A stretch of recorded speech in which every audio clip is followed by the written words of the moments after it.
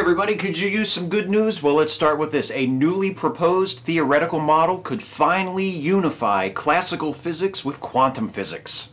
A theory of everything capable of describing the universe at the largest and the smallest scales is one of the most sought after goals of modern physics.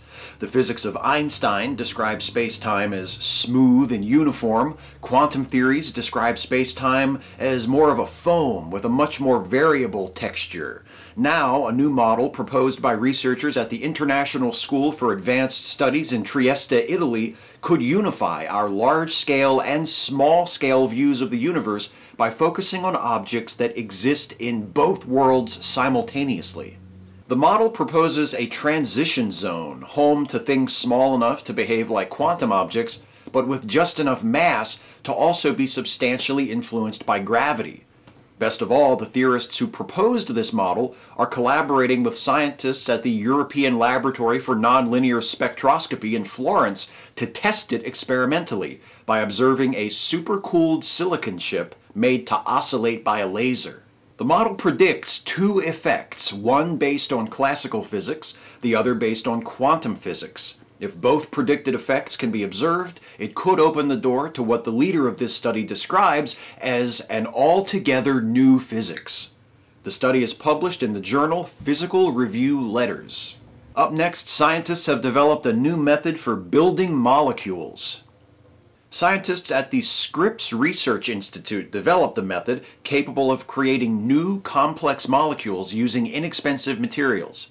The method modifies a naturally occurring set of chemical reactions called amide bond forming reactions, which bond carbon atoms to nitrogen atoms. The modified reaction bonds carbon atoms to other carbon atoms, making it possible to safely and easily synthesize organic molecules. Being able to synthesize complex organic molecules would be useful in pharmaceuticals, biological research, and pretty much any other field that utilizes chemistry in some way.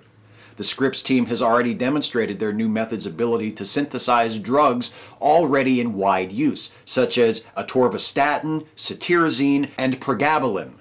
The paper on this promising innovation is published in the journal Science. And finally, a new study finds that mortality rates are declining among economically disadvantaged youth in the United States. Generally speaking, wealthier people tend to live longer than poorer people. But according to a just released study conducted by researchers at the University of Zurich, mortality rates of American children and young adults living in economically disadvantaged areas are falling approaching the mortality rates of people in the same age group living in more prosperous areas. The study found the differences in mortality rates among wealthier and poorer adults to still be significant. This is possibly explained by children benefiting more from public assistance programs, while the damage to the long term health of economically disadvantaged adults who didn't benefit from such programs has already been done. But with time, as health care and living conditions for poor children continue to improve, the mortality rate of poor adults should begin to decrease as well. This study is also published in the journal Science. A new theoretical model could unify classical and quantum physics. Scientists develop a new technique for synthesizing complex molecules, and a new study finds that mortality rates among poor children in the U.S. are dropping. That's the good news.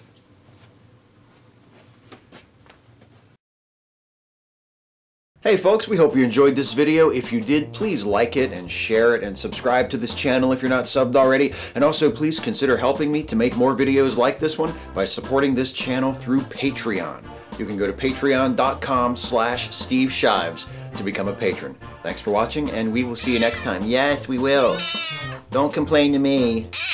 You've had it too good for too long.